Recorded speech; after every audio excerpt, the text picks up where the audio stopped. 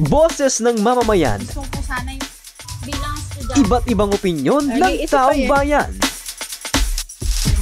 Ang gusto ko talagang Ating alamin sa Kalye Survey.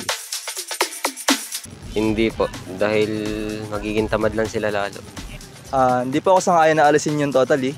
Kasi po, syempre po, um, malaki po yung may tutulong sa atin nun sa ating society, sa education, at sa technology po. Ah, doon po kasi nagsisimula yung ah, pag-upgrade po ng ating society mismo. Hindi ako sang-ayon.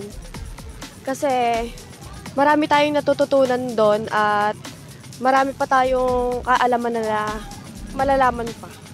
Siyempre po, sang-ayon. Kasi po, ah, mahirap po siya gawin and madaming estudyante po yung nagre-repeat ng mga research nila dahil hindi po nila napipinish. Yes po, para po less po sa gawain ng mga estudyante. Medyo mabigat po kasi yung research. Hindi po.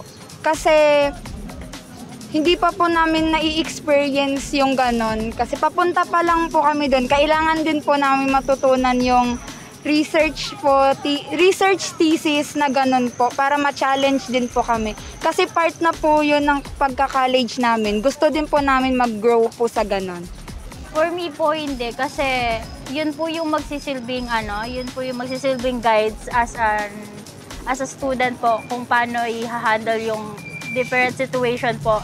Kapag po um, pumasok na po tayo sa iba't ibang career ganun sa next step po after college ganun. Boses ng mamamayan, Gusto ko sana yung bilang iba't ibang opinyon Ay, ng taong yan. bayan.